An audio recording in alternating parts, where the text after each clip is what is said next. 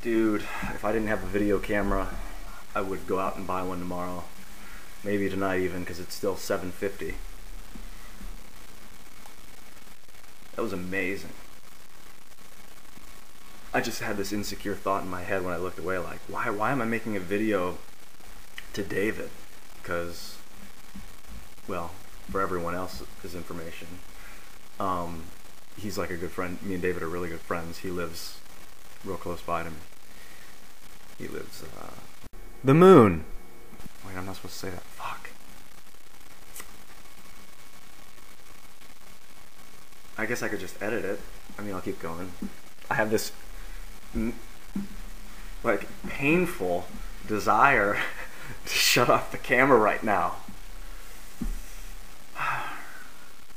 All right, man. Maybe I'll just call you instead. But does that defeat the purpose? Because we have interesting interaction on on YouTube, then people get to watch it. Because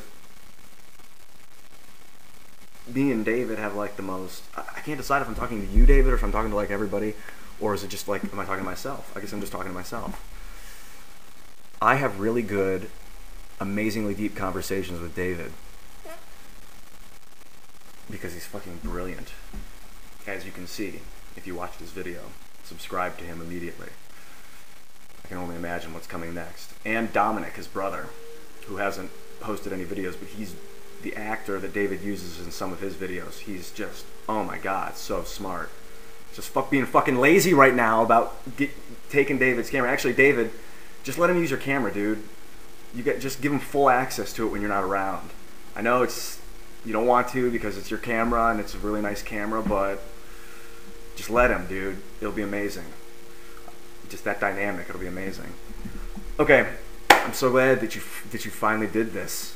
I mean, I guess it's only been like a week, week and a half since I've been hassling you about it, but I'm still glad. See ya.